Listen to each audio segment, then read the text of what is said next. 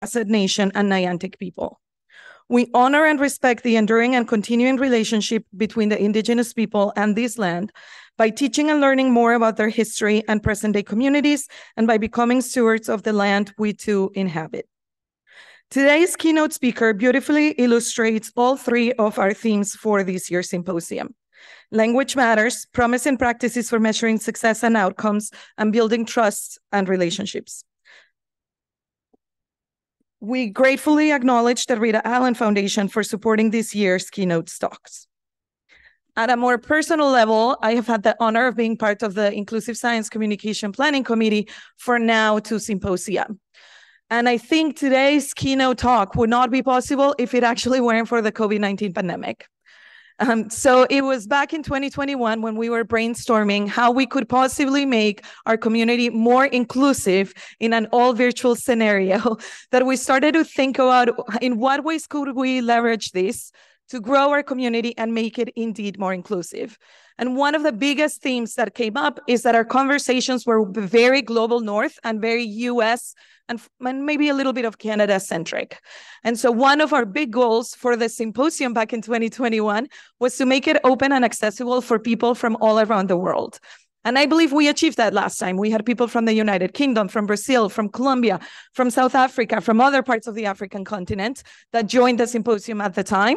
And many of them have actually also chosen to both participate in the virtual version of this year's symposium and come in person, including our esteemed keynote speaker.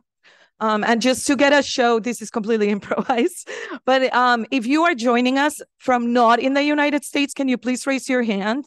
So we can see, yes, we have some hands over there. Well, we're so excited that you are here. That is actually very different from what it was like back in 2019. And so I'm originally from Colombia. So at a personal level, I am so excited that today we'll get to hear um, perspectives from somebody who works with communities in the global South. And so our keynote speaker, Dr. Elizabeth Rasekoala, is the president of African Gong, the Pan-African Network for the Popularization of Science and Technology and Science Communication. Dr. Rasekoala is a veteran science communication scholar and practitioner based in South Africa. She is also the editor of this amazing new book, The Race and Sociocultural Inclusion in Science Communication, Innovation, Decolonization, Decolonization, and Transformation. This book assembled 30 diverse practitioners and academics from across both the global north and the global south to present empowering ideas and transformative concepts about inclusive science communication. Today, she will share broadly relevant insights and innovative perspectives from this influential collection, paving the way for more globally inclusive, representative, and paradigm shifting approaches to science communication. For those of you like me who are interested in this book, she will also be signing, and you will have the opportunity to buy your own copy today from 4.30 to 6 p.m. right in this very room. Following Dr. Rasekoala's remarks, we will take questions, and I have also been asked to inform you that we're going to take a group picture, so please do not leave after the questions. And with that, I welcome our keynote speaker. Thank you.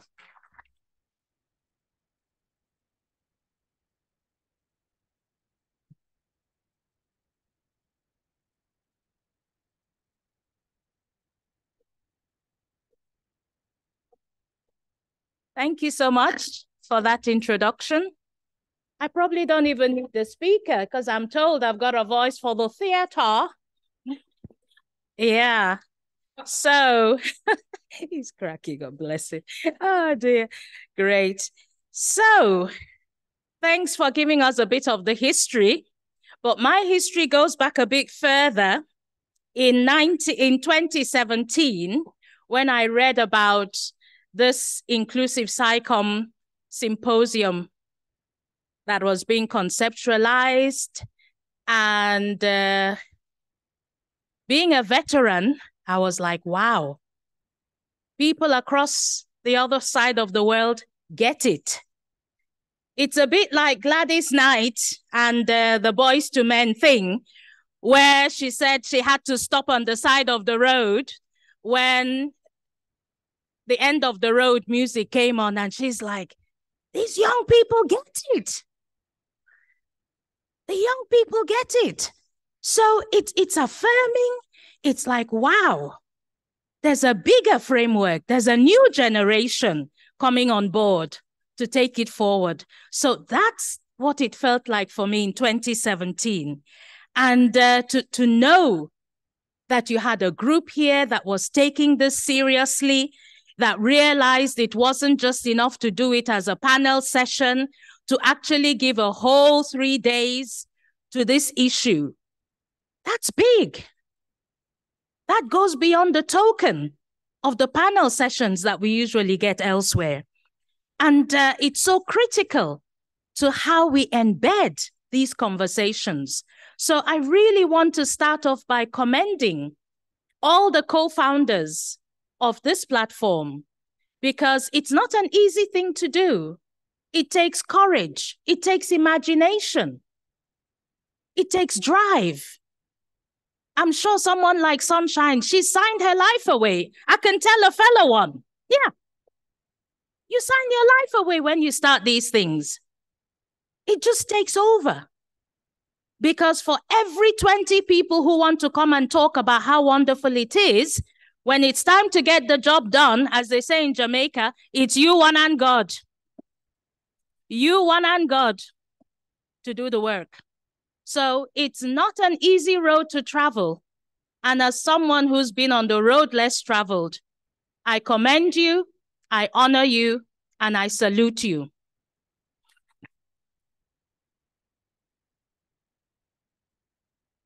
And what I would like to do in this presentation is to strengthen the rationale for your work, to show why your platform is so important for the science communication field, and hopefully to give you a bit of encouragement and a pat on the back to say, keep going. It's not over until we're six foot under the ground. And even then, I'm sure when I'm down there, my, my bones, my skeletons will still be talking about science communication because it's that wired. Absolutely. So if you see a gravestone anywhere, and they're talking molecules and whatever. You're like, that was Liz Rasekoala in there. Exactly. So we start off with the saying that timing is everything, just as we have been told. And the timing of this book really is no different because it was midwifed out of the COVID scenario where you had this glaring global spotlight that the pandemic has shown on all kinds of science, science communication, global inequalities of regions, of geography, the North versus the South, and so on, race and socioeconomic divides. And rightly so, because it was life and death. These were life and death implications of these inequalities across the globe. Who lived? Who died? Who was a first responder or not? who could get a vaccine and who couldn't get one because their country did not get the free supplies and could not afford to buy them. These are profound issues. So we cannot then come out of this scenario and carry on with business as usual. No way. No way. Something has to change. And through that, the whole book was conceptualized to say, how do we interrogate our practices, our narratives, and our approaches through more wider angled equity lenses that COVID has shown us do matter. They matter. And so we then tried to come up across the different regions of the globe with a globally inclusive analysis, description, elaboration, and more importantly, to try to map a way forward with innovation and transformative good practice approaches for change. But we already had a wonderful advocate for the premise of what we were doing. And we took the profound exhortation from the late great, as we say, Maya Angelou. And she said something very, very pithy, short But as we say in my language, it gets you in the belly. You reach belly, in our pidgin English, you reach belly. Yeah. And she said, we can only do the best we can until we know better. And that once we know better, we must also then do better. And it is in this context of knowing better in order to do better that we came up with this book volume. And so I would like to share with you all what we now know better and can therefore do better in inclusive science communication.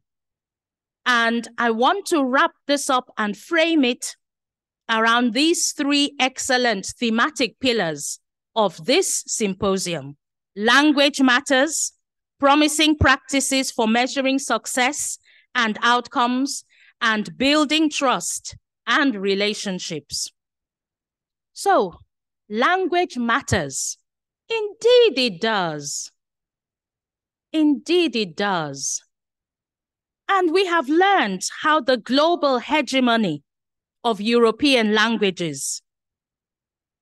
And I have to smile sometimes because our Spanish colleagues forget that Spanish is a European language. It's not a Latin American language. Yeah.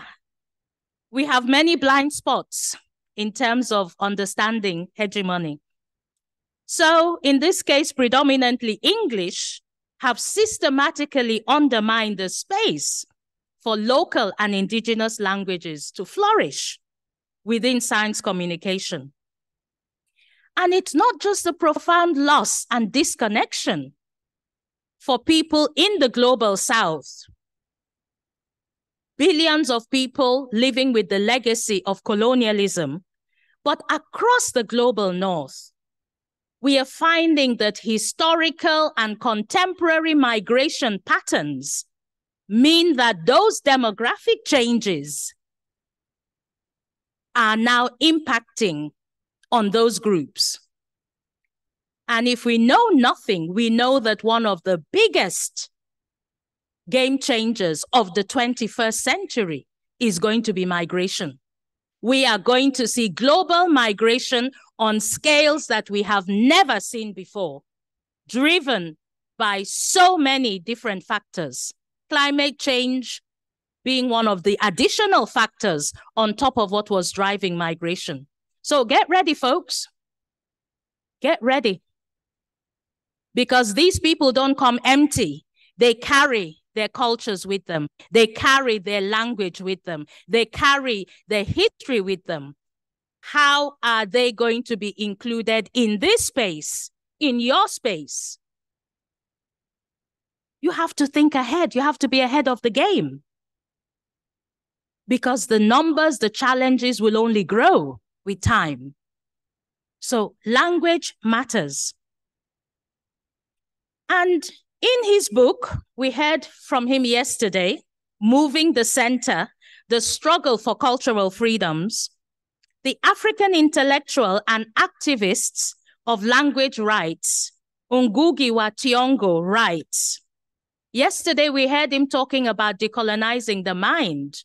Today I want to quote about him on his other important part of his work, which was about fighting for language rights, to the point that he decided to practice what he preached and refused to write any more books in English and all his subsequent books were written in his uh, uh, indigenous language. And what does he say about language? Very, very deep and challenging. Every language has two aspects. One aspect is its role as an agent that enables us to communicate with one another in our struggle to find means for survival. The other is its role as a carrier of the history and culture built into the process of that communication over time. So, what is Ngugi actually telling us about the power of language and why it matters? It is through language that some people may seek to preserve power and privilege. Mm-hmm. Sounds familiar? We see that? while others may engage in efforts to challenge that power. Language is therefore shaped by, finds a home in, and flourishes in political and economic structures of power and privilege. And in almost all societies, language forms part of the intersection between race, nationality, and social class. So that as one of the chapters illustrates with the question, can you really understand science concepts if you cannot explain them in your own local language? I can speak to my family about any topic in my language. As soon as I have to start talking about science, guess what? We go into English. And that is a loss. That is a loss that we live with. Why am I not enabled to be able to speak about science to my family, to my grandmother in my local language? It's a profound loss to live with. The other aspect as to why language matters relates to the concept of what post-colonial scholars such as Edward Said and Gloria Wekker write about, the concept of racial grammar. The racial grammar that is inherent in the cultural archives through which much of science communication is undertaken articulated, framed, and lauded to a certain extent in the mainstream. And what is the power of racial grammar? Because it works on two levels. Racial grammar is used to define and to preserve the superiority of so called Western knowledge and communication against other parts of the world. Racial grammar frames the way in which Western derived science communication practices have been privileged at the expense of those from other cultures, serving to make invisible their added value dimensions of the contributions to a globally coherent and inclusive framework for science communication. And here I go to my mother's language. My father's language is what I call straight speak. This is me as a child now. My mother's language is what I call half speak. Because in her language, you have to, it's a whole different way of listening and speaking because you have to listen to what is said and what is not said. Yo, hard work. That's hard work. And I remember as a child saying, But mom, why, why can't I say that? And she said, No, my child, you can't say that. You've got to say some things, and then that other person has to listen and work it out. And I'm like, who needs the hard work? Can we just put it out there? No, half speak a whole different mind game. But when you've lived that as a child, you learn to see half speak in other arenas. And I saw half speak in the racial grammar of science communication. It operates at the level of what is said and what is said, the negation the denigration of the contributions of non Western societies, regions to scientific advancement. And, as in my mother's language, what is not said. The hidden stories, the hidden figures. Remember the book and the film? Yeah. The narratives, the exemplars of the contributions of these very same marginalized people and regions that are insidiously unacknowledged, unnamed, and buried in this racial grammar of half speak. So, just as with my mother's language, you have to listen very, very carefully to understand that there are two levels here what is overtly said and what is not said. And you've got to work both out for you to fully then understand what the grammar is. And this half speak is so powerfully illustrated and captured in the work of the Caribbean born American artist, Tavares Strachan, who is an alumni of the Rhode Island School of Design, as it happens. These connections always happen like that. And uh, he came up with what he called the Encyclopedia of Invisibility. 15,000 examples from across the globe, 2,416 pages. The Encyclopedia of Invisibility to evidence the recovery of invisible facts and histories. And in his exhibition, that fat book sits behind, sorry, sits behind glass. You can't open it. You get the message? He's telling you this is what it is for real. This is what is not said. Even while it's captured in this book. And you look at the physical frustration of people who want to go in there and grab the book and this knowledge, and they can't because there's glass. Can you see the power of what that artist is trying to teach us about what we are dealing with in the racial grammar? Yes. Absolutely. So this half speak needs to be overturned. And how do we do that?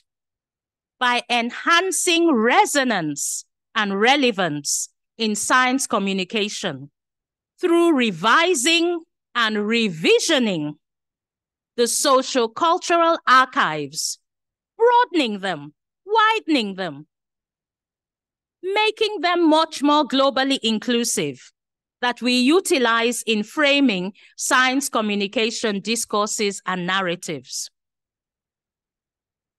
Promising practices for measuring success and outcomes. What did we come up with here? The challenge for science communication in this context of measuring success and impact outcomes is innovatively embedded in our recommendation of moving from measuring quantity, raw numbers, how many people attend. If you're lucky, you might get a gender disaggregated breakdown. So many women, so many males. To move from raw numbers, which is the current dominant paradigm, to that of measuring quality, and quality is harder, but it is much more nuanced, transformative, and inclusive. So the challenge we put in this book is that when we take this approach to its ultimate, what does this recommendation actually seek to, to, to, to do? It seeks to put forward the radical suggestion that there should be only one valid impact measure for successful science communication. And guess what that is? That of inclusivity. Can we be bold enough to envisage a brave new world where the metrics of diversity, equity, and inclusion become the principal hallmarks through which we evaluate and assess what success outcomes in science communication look like and their sustainable impacts. Can we be bold enough to say, if it's not inclusive, it's rubbish? I don't want to know whether 200,000 people came. If it's not inclusive, it's rubbish. It did not happen. Go back and start again. Can we do that? Call each other to account? Because that's what needs to happen. And if we don't do that, what happens? we carry on with this scenario that has been there for far too long, whereby inclusion has been and continues to be viewed as an optional extra, an afterthought, or a nice to have, where the evaluation of science communication is concerned. We're going to keep being in this arena if we don't have this radical change to how we approach things. But we have a lot of enemies on the road. So let's talk about what we have to deal with to get there. We have the gatekeepers, and we know them well. so let's talk about them so we know who we're going to hit hard. exactly. If we're going to make this happen. In the global south, we have the insidious Trojan horse of international partnerships driven by global North funders and which pressurize our researchers, our academics, and science communicators to deliver science communication through ways and means and approaches that mimic their international partners in these globalized unequal partnerships, whereby power dynamics and decision making are driven by the global North funders partners. So, what do we have? In effect, we inexorably move from the term helicopter, helicopter science research, as it has been described, to helicopter science communication in the global south. And my visual of the helicopter syndrome always goes back to those, I don't know if it's appropriate, but I'll say it anyway, those Vietnam movies. A helicopter doesn't have to land. It can drop people and pick them up. It's an appropriate analogy. A plane has to land to be able to, to do something similar. So remember the helicopter analogy.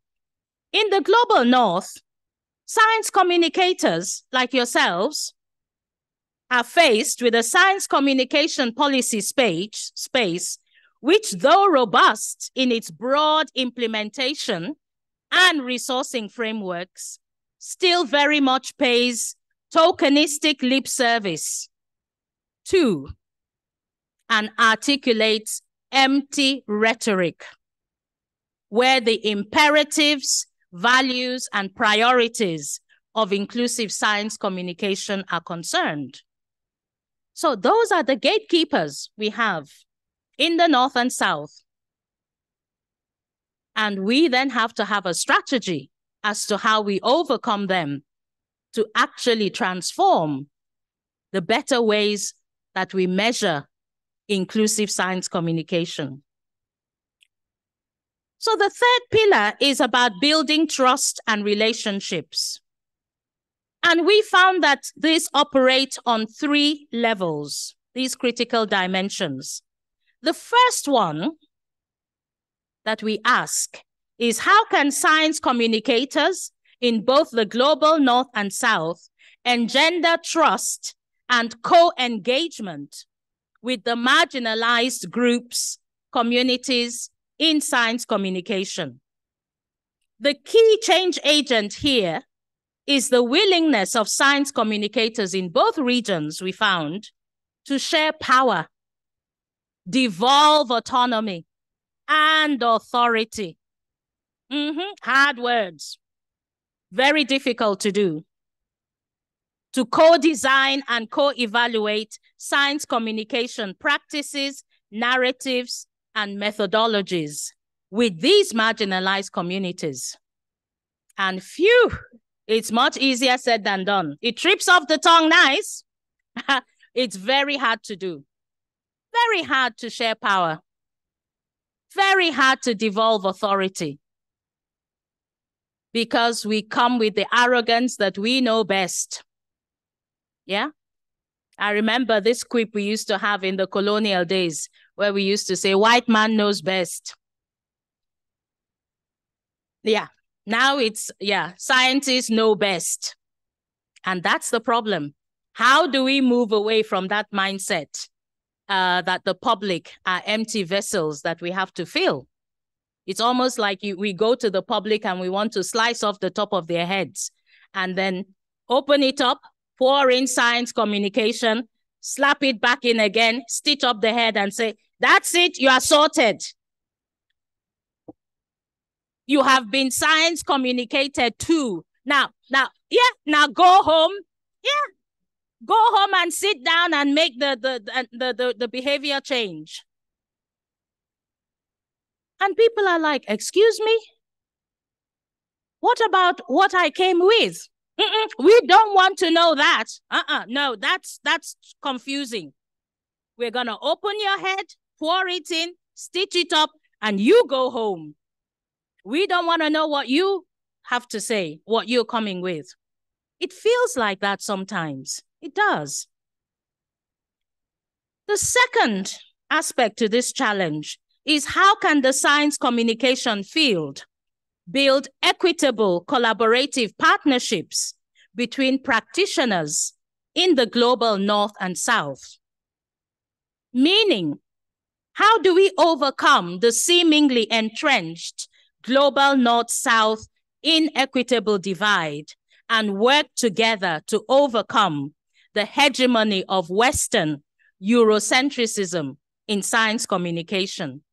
which has such detriment, detrimental impacts across the globe where inclusive science communication is concerned.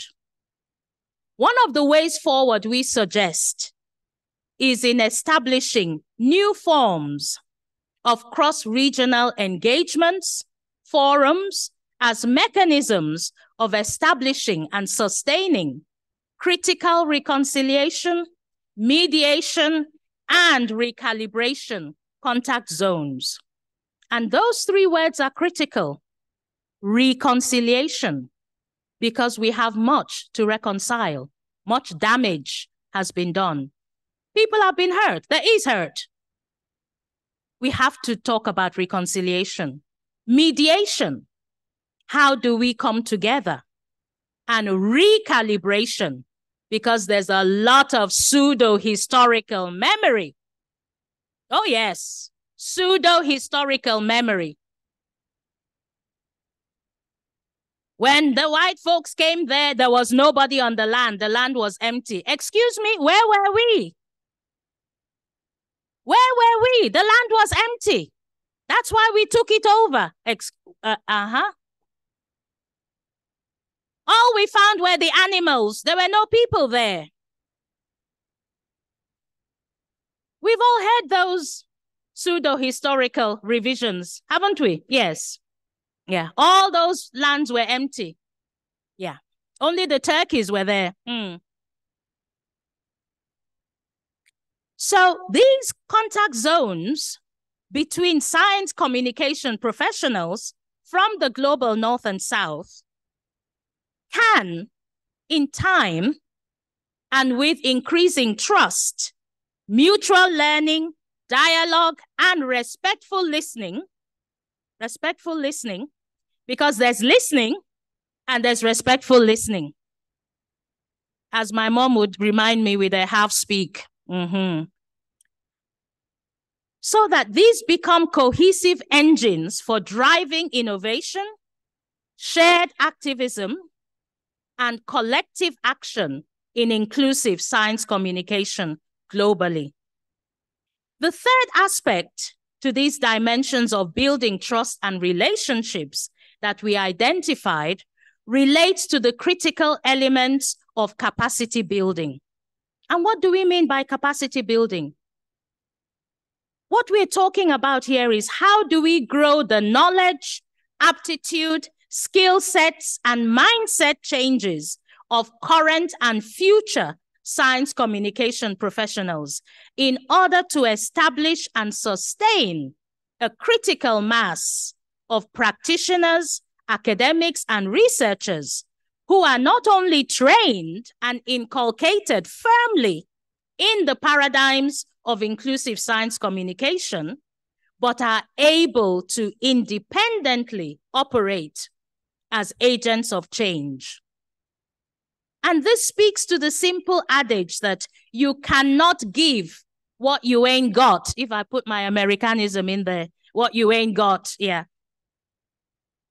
How do we expect practitioners to engage in these transformative approaches when most of them have not been enabled through capacity building or training to deliver on these premises?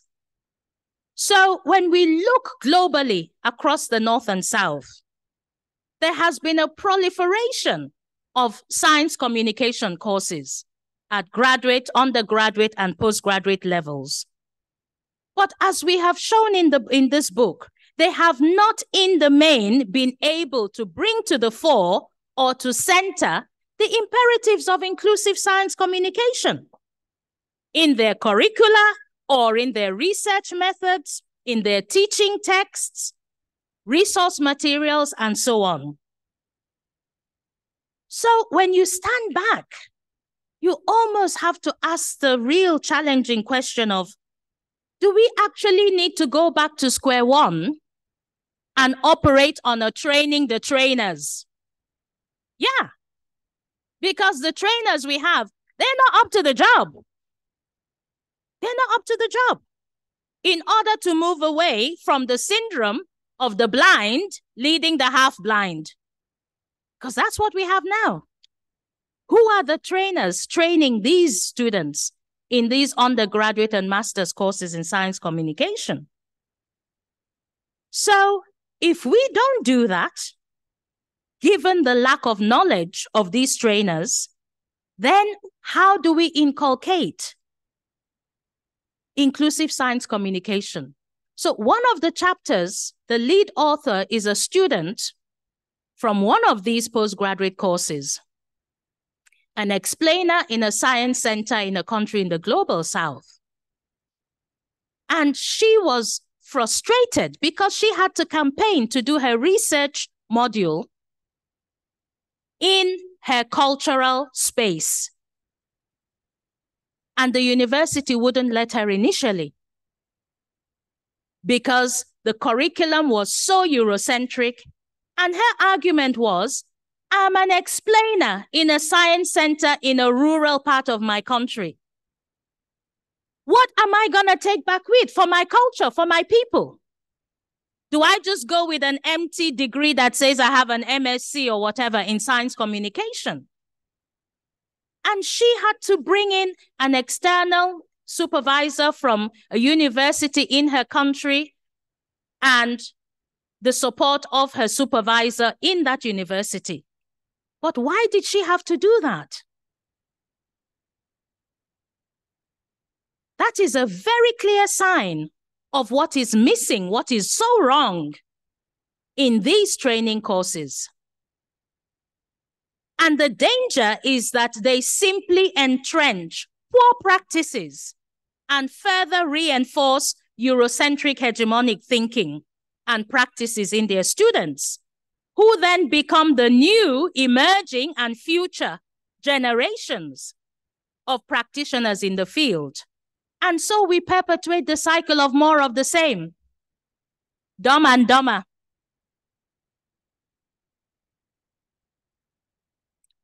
And what we then did was to highlight good practice exemplars of innovations that are taking place in different parts of the globe.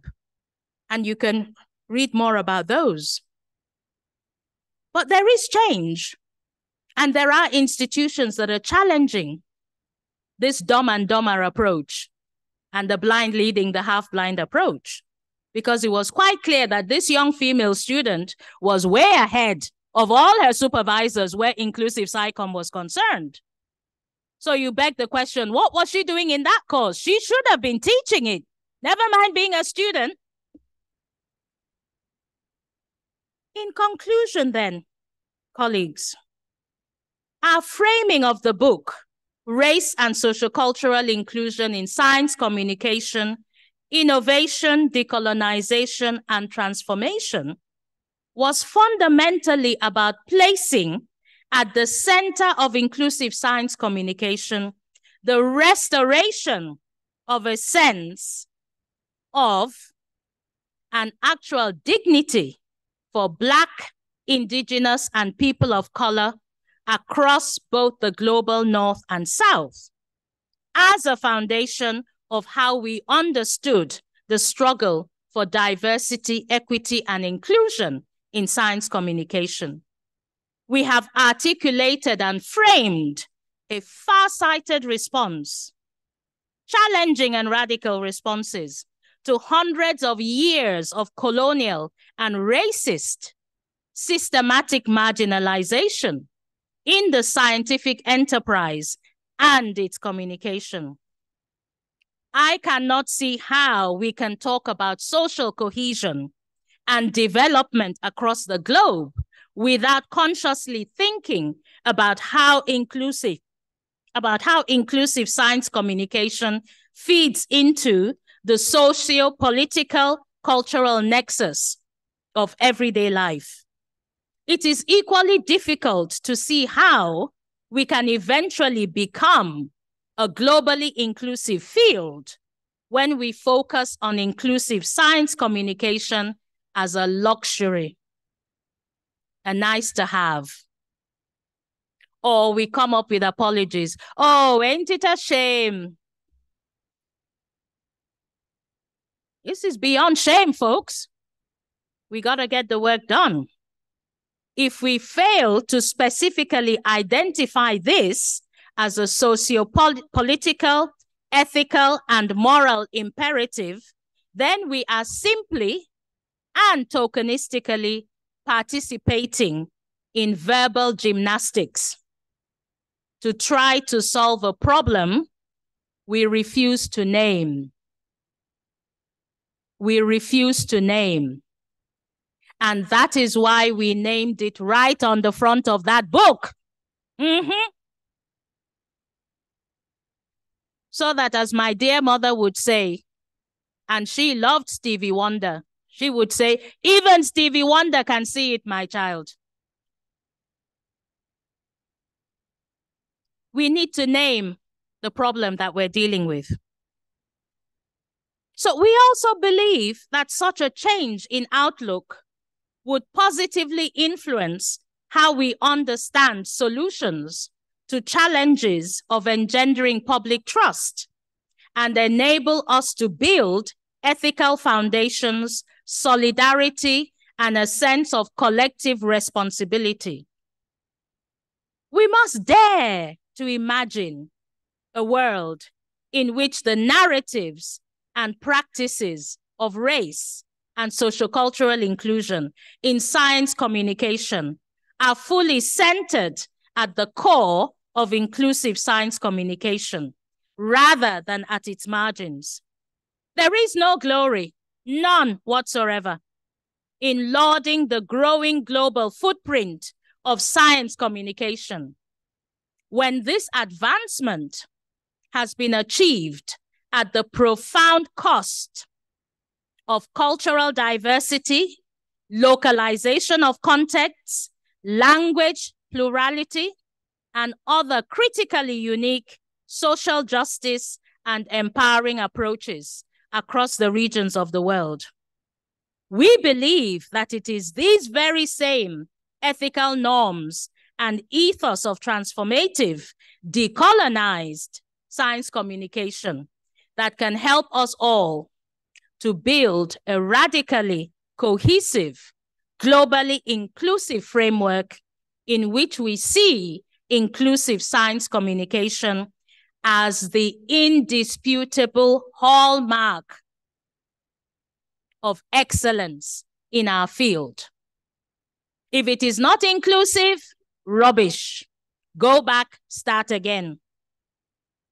It is then when we hold each other to account, as exhorted by Maya Angelou, that we can create a dynamic framework in which we can all become should and must do better. I thank you.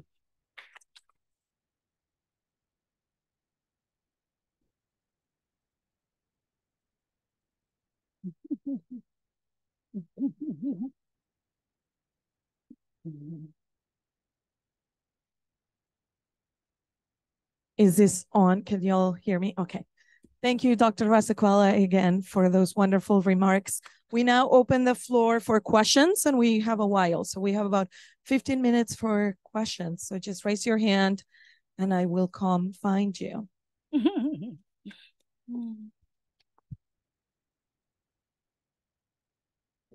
Ooh, back. Can you please raise your hand again? Okay.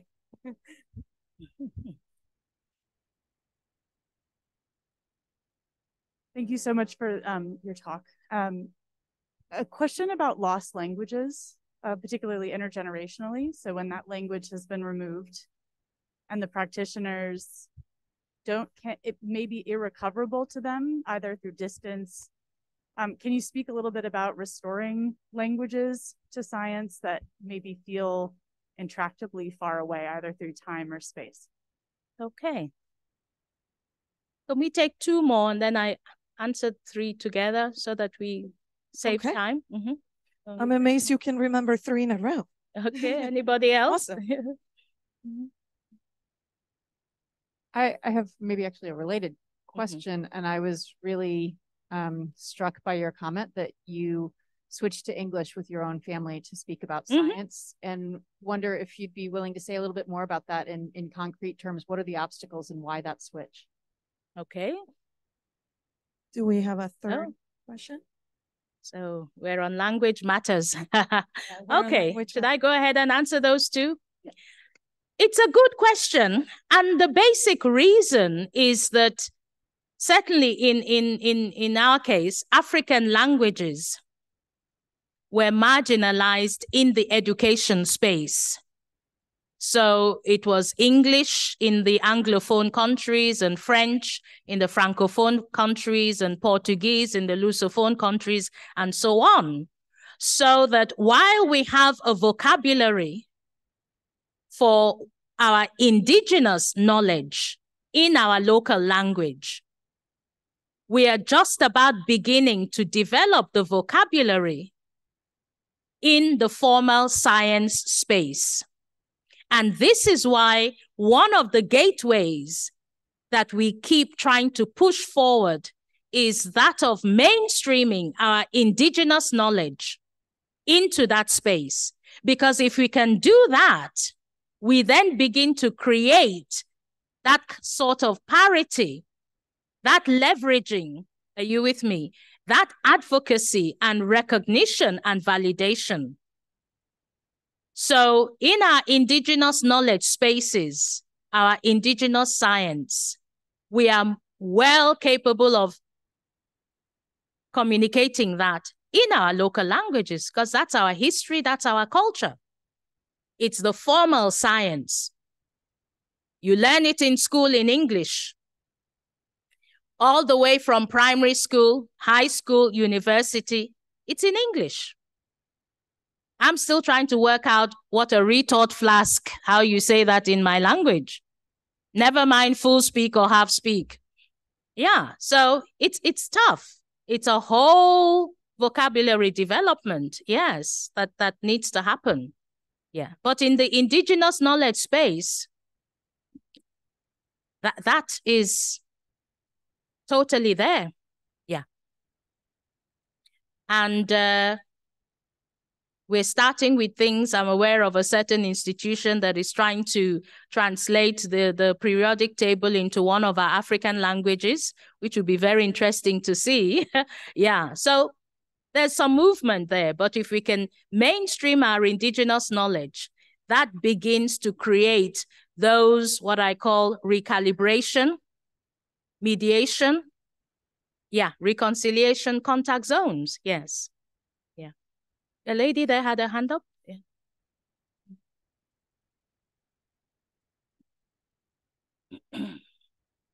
Thank you again for the amazing talk.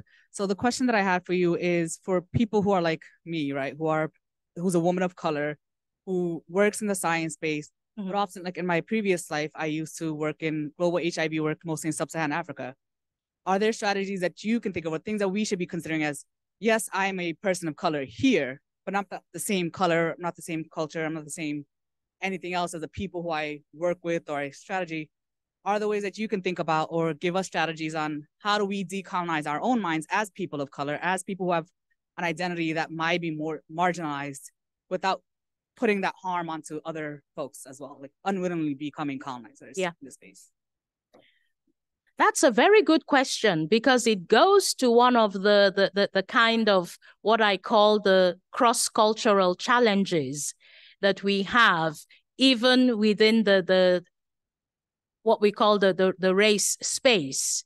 So when we look at the African diaspora, whether it's the historical one or the contemporary one, and we look at uh, the people on the African continent, we know that to a certain extent there has been that disconnect.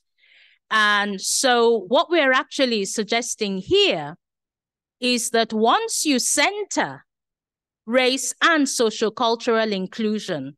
What you actually do is you enable all those different trajectional experiences to be equally engaged so that your experiences as a person of color, whether you've come through the, and I'm being diplomatic now to say the historical route, but we know it was a brutal experience historical migration or contemporary migration or those on the African continent. But until we can center race, there is no space for you, for me, or any other. And that's the problem. Because when we center it, then you and I then have the opportunity to be able to engage freely and to be able to talk across and we will be surprised at how much synergy we find. Absolutely. But we don't even have that space, my dear. And that's got to be the starting point. Yeah.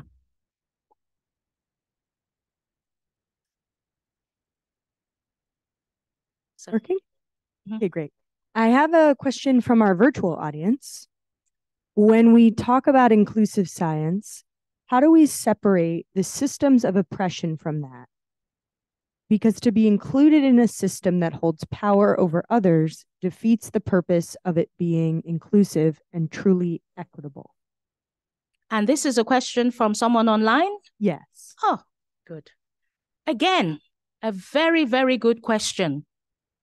And a difficult one to answer because I understand the premise of that question it reminds me of the sort of questions that we used to have on the gender space back in the day.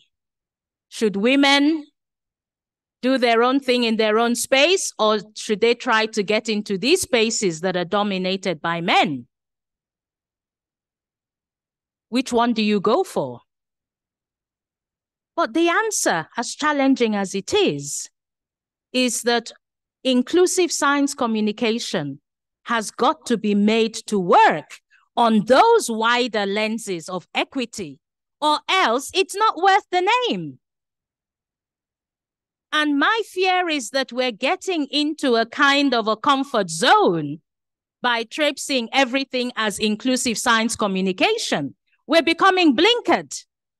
And we don't even realize that we could end up in a silo so I understand the, the concern inherent in that question that if you're going into positions of power, how do you change the paradigm? You have to be engaged. Just as women knew that they had to be engaged in those spaces of men for change to happen. Yes, I can understand people who think you can change it from outside, but you also have to be inside. You got to have skin in the game, as you guys say over here. Yeah, you need to have skin in the game. And you can only do that by going in. But her question is also a backlash to us in inclusive science communication to say we have to widen the lens. Going back to that question, if we don't widen the lens, we are just another set of hypocritical gatekeepers.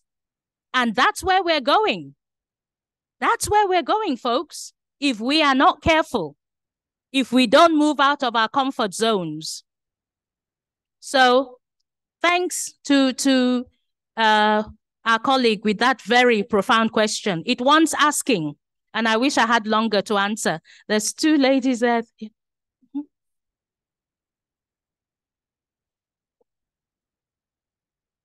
Mm-hmm. Mm-hmm. Sorry, I was looking at the color. Um, so as a scientist, um, one of the core features that I've always sort of practiced and learned is um, of every across research disciplines mm. is uh, this idea of cl- uh, classification and categorization as a style of scientific reasoning. Mm-hmm. And uh, one of the prime examples of that is the periodic table, mm-hmm. right? Classify and categorize. Once you mm-hmm. can sort of name things, then you can measure it and such and go on with your experiments. However, over the last few days, I've been really reflecting on this idea of classification and, ca- and categorization mm-hmm. Because everything that I've learned has always been classified and categorized in through a Western lens, mm. right? So I guess it's sort of related to the question that was mm. just asked, but you know, you spoke about the periodic table uh, being translated into other languages, and mm. to me, that that like the system that's used for the classification and categorization of periodic tables completely based on like you know molecular weights of and it's like one two three four five you know so it's in this so i, I don't know if that's like not culturally you know what i mean? Yeah. Because uh, i'm you know obviously a white lady here. Yeah. and um so i guess my question is is is you know in the systems that we have is simply just creating the communication of these systems in in heritage languages like enough? Or is it also about trying to identify what systems of classification and categorization exist mm. in other cultures. Yeah. You know? Yeah. Uh, do you want to take that one or let me answer first? Which one? Yeah. No, that's a good question because the, the, the challenge is both ways. The challenge is what's out there within the sort of the, the normative uh, um, scenarios, like you say with the periodic table but it's also the challenge of different kinds of sensitivities and sensibilities in different languages and culture. So let me give you an interesting example here. So when in the early days when we had the, the big challenge of HIV AIDS, and there was a great uh, drive in terms of public health, messaging, science communication, and again, Western derived concepts were sort of driving the agenda. And these uh, international well intentioned folks would come to us and say, Yes, we want you to be talking to people about this, that, and the other, and, you know, talking about the anatomical parts. I'm being diplomatic now. Is it lunchtime? We had lunch. Yeah. And we're like, Excuse me, dear anatomical parts.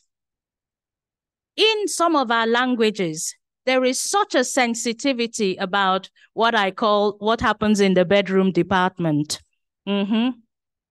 So we don't even go for the biological anatomical names. So in some languages, it is as obscure as he took her to the bedroom and he fell on top of her. And that's it. So how do you then take this Western Eurocentric language and approach to these communities?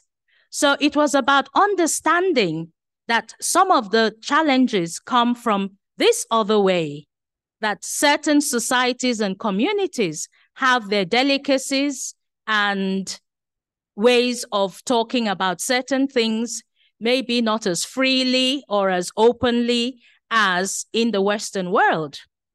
And, but again, this evolves over time.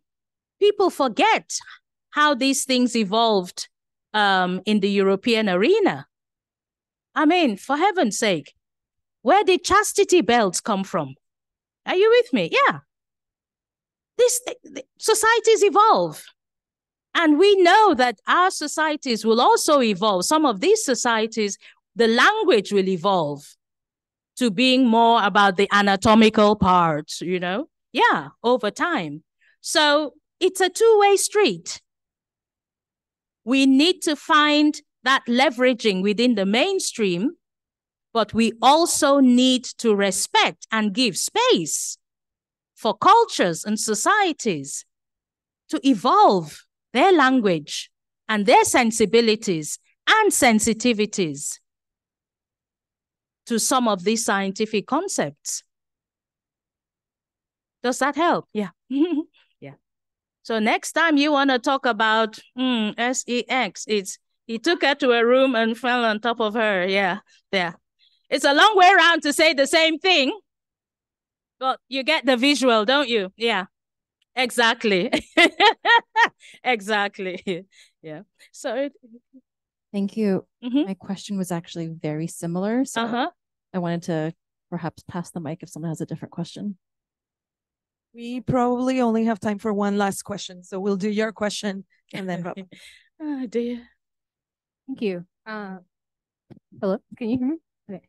Mhm. Uh, so wonderful talk. I wanted to briefly ask about when you're talking about the Encyclopedia of Visibility Mhm. and that art project that reminded me a lot of the film um The Watermelon Woman by Mhm. Cheryl Dunye, which is uh spoiler if no one's seen it. It was made in the 90s, but basically a whole idea of finding this historical uh black woman um that Mhm. actually never existed. And it the film ends with that Mm. notion of when your history has been robbed from you, um, Mm. sometimes you have to create your own. Mhm. And I thought, you know, there's a lot of new knowledge and a lot of really great steps that are being generated now t- in terms of science communication and just science in general.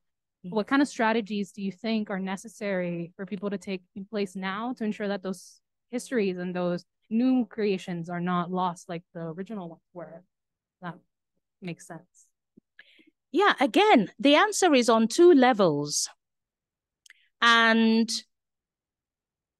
the, the Strachan exhibit, by putting that huge encyclopedia behind glass so that people can actually touch it and read it, he is exemplifying the first part of the problem, which is the gatekeeping that wants to keep that knowledge invisible. So it's like a physical illustration. So how do we open those gates? Because it's it's one thing on the other hand to create those stories, to bring to life those exemplars, as you say, to showcase those exam- ex- examples. But do we get a way in? Is the door open? That's the so it's it's two ways. It's two ways.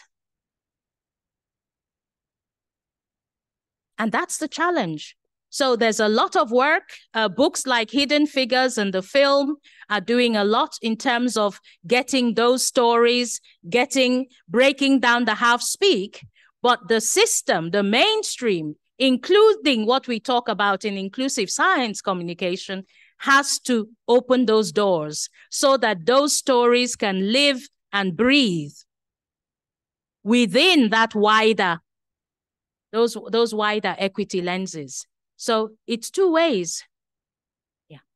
No point doing this if the doors are shut. And no point opening the doors if there's nothing to come in. But as usual there's more happening on the content side and less happening on the opening the door side. Because again, it's about power, it's about autonomy, it's about privilege. And those are the hardest things to break through.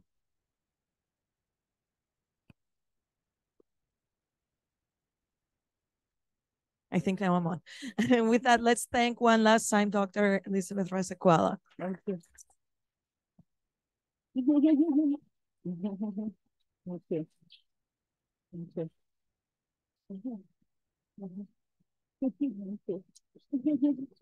you. Thank you. Thank you.